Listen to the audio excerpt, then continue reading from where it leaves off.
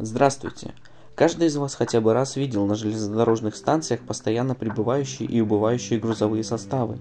И вы наверняка задавались вопросом, а как эти составы вообще образуются? Так вот в этом видео я постараюсь приоткрыть завесу этой тайны. Все грузовые составы должны обязательно пройти специальную техническую железнодорожную станцию под названием сортировочную, предназначенную для расформирования и формирования различных категорий поездов. И если вы когда-нибудь видели такую станцию, то наверняка впечатлились масштабностью этого процесса. И чтобы понять, как это работает, давайте представим ситуацию.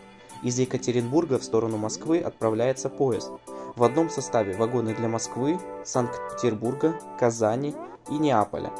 Можно развозить их все последовательно по этим городам, но тогда время доставки будет достаточно долгим. А можно подцепить нужные вагоны к поездам, следующим в нужном направлении. Если говорить проще, то сортировочный узел на железной дороге необходим для того, чтобы распределять вагоны из одного состава в разных направлениях. Итак, если мы посмотрим на план станции, то увидим входящие линии в самом начале и несколько широких частей со множеством путей, которые каждый вагон последовательно проходит. Работает это следующим образом. Для начала все составы приезжают в парк приема. В данном случае парк приема А Тут вагоны переписываются в автоматическом или ручном режиме, с каждого списывается уникальный номер и добавляется в базу, а специальная программа сортировки обрабатывает полученную информацию и составляет сортировочный план. Это главный документ, на основании которого будет происходить дальнейшее распределение состава. Уф, надеюсь я вас не загрузил. Но кроме этого, каждый вагон попадает под технический и коммерческий контроль. При первом выясняется состояние вагонов, при втором проверяется целостность груза.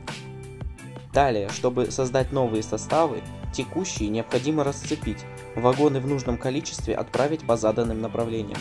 Для этого вагоны поступают в приемо-отправочный парк Б. Он находится к югу от парка А.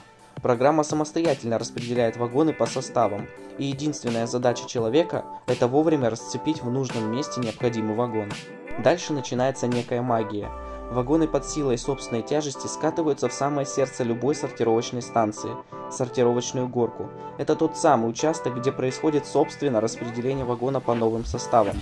Здесь вагоны разгоняются, чтобы самостоятельно добраться до состава, тормозятся при помощи специальных установок, которые, кстати, тоже управляются автоматикой и подцепляются к нужным составам. Скорость контролируется при помощи датчиков – на основании которых тормозные пары прикладывают нужное усилие для торможения вагона. Для примера возьмем сортировочную горку в Бекасово, которая находится к востоку от парка А. Вагоны попадают на горку с запада из парка А. На горке 4 пути надвига, 3 пути распуска и 3 тормозные позиции. На этом главная задача формирования новых составов окончена, и вновь сформированные поезда могут отправиться в путь. На этом все. Спасибо, что досмотрели это видео до конца. Обязательно делитесь этим видео, ставьте лайки, комментируйте. И всем до встречи в новом видео.